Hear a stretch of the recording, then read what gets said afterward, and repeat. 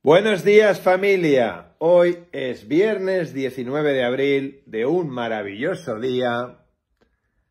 Estás en Desocupa News y cómo no, sorbito de café para empezar las noticias, no las que cuentan en televisión, sino las de verdad, las que tú y yo sabemos. Sorbito.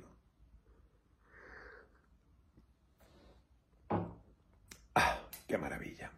Bueno, primero de todo, a ver chicos, chicas, Chiques, como sabéis, siguen hablando de lo de lavapiés y todo esto. Ayer me contactaron dos, porque yo tengo infiltrados en este tipo de programas. Uno de, Antena 3, espejo público, uno de los que trabaja en producción. Y luego un policía colaborador. Y nada, me llamaron para decirme, Dánimo, Dani, felicidades por el trabajo, porque todo el mundo sabe que si la empresa Desocupa no hubiera aparecido por lavapiés, esos desgraciados seguirían dentro. Pero, y os lo que os voy a decir, os lo voy a decir con mucho cariño. Por nosotros no os preocupéis, porque mira, aunque ellos nos atacan, vamos a analizar quién nos ataca. El perfil de esos seres inertes que cobran 1.500 euros por estar sentados en una poltrona haciendo de mamporreros a unos presentadores que la mayoría, porque hay alguno que se salva, son cuatro cazurros y cazurras, moluscos y crustáceos que viven desde el odio, desde la maldad, desde la rabia, desde la envidia, porque, claro, entenderlo, tenéis que comprenderlo. Nosotros, una empresa privada, de chicos, encima, guapos, muy guapos, somos todos muy guapos, hay que decirlo, chicos grandes, guapos y fuertes que ayudamos a la gente, que ahora mismo, desde hace ya muchos años, no podemos ir por la calle. Pero no como Pedrito o como la Choni o como la Charo, sino que a nosotros nos paran, nos piden fotos, nos felicitan, nos regalan cosas, la misma policía. O sea, nuestro mundo es feliz y maravilloso, es como el, el mundo de Barbie y Ken. Y estos señores viven en Mordok. Son orcos, orquitos, gente vacía. No os preocupéis, nosotros estos días hemos vuelto a, bueno, a recibir baños de cariño, de popularidad. No os preocupéis, en serio, que a mí me, se metan conmigo en la televisión es una puta maravilla. ¿Por qué? Porque las televisiones no las ve nadie. Y las redes sociales están obviamente que arden. Así que os lo digo con mucho cariño. Por nosotros no os preocupéis. Todo el mundo sabe lo que ha pasado en Lavapiés. Y volverá a suceder porque seguimos ayudando a la gente. Por cierto, todos estos medios que salieron escaldados cuando yo les dije darle me gusta a la publicación al acabar, os invito a todos y vais a ver cómo esto no sale en ninguna televisión. Si de tanta actualidad queréis hablar, veniros esta semana a Valencia.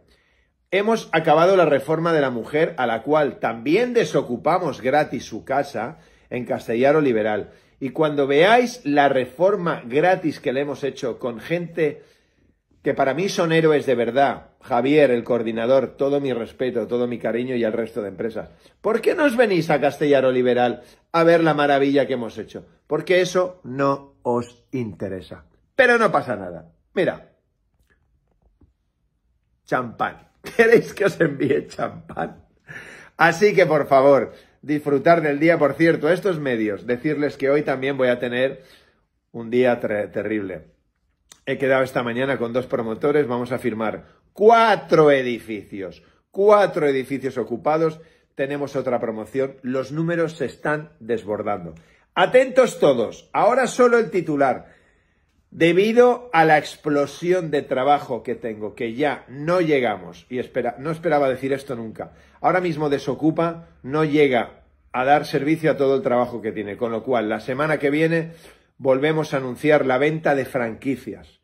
Si quieres ganar mucho dinero, ponte en contacto conmigo. Os explicaremos las condiciones y las zonas que se venden. Por otro lado, ¿cómo sigue España y el mundo? Hecha una puta mierda. Ayer leía un titular escabroso donde un marroquí, una niña de cuatro años, en tres ciudades, la policía, que es la que me pasa la información, me ha dicho que hay incluso agentes de policía que están pidiendo excedencias ante la impotencia de no verse capaz de ayudar al ciudadano. Ojo lo que os estoy diciendo. Policías vocacionales que se ven superados y están ya planteándose dejar el trabajo que aman. Señores, nos vamos al carajo.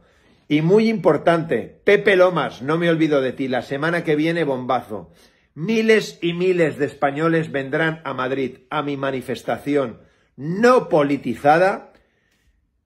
Saldremos a las calles pacíficamente, gritaremos libertad y amnistía para Pepe Lomas y obviamente esa cuadrilla, esa banda putrefacta de medios que os dedicáis a meteros conmigo y no sé por qué.